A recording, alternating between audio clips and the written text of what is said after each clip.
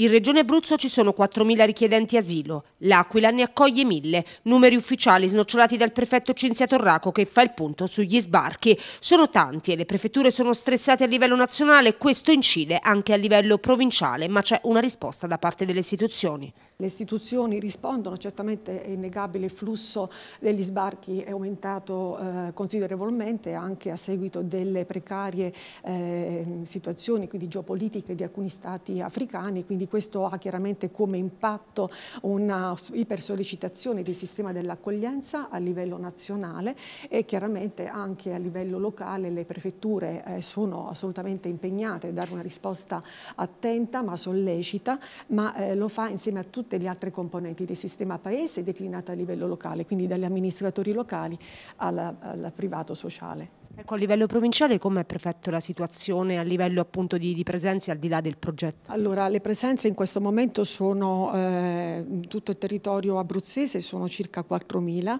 eh, l'Aquila ne ha eh, 1.000, ne accoglie 1.000.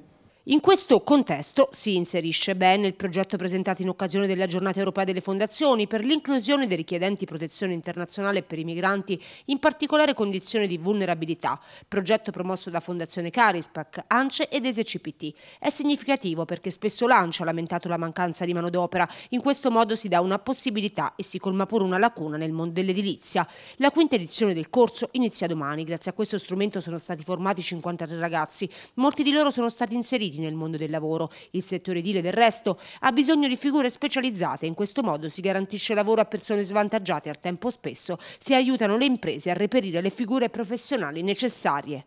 In Abruzzo abbiamo avuto eh, delle presenze importanti nelle fondazioni, ma all'Aquila in modo particolare un rapporto con l'ANCE che ci ha dato la possibilità di mettere in piedi dei corsi di formazione attraverso i quali si eh, include anche l'extracomunitario che arriva, che partecipa a questi corsi di formazione, impara e poi può essere avviato al lavoro.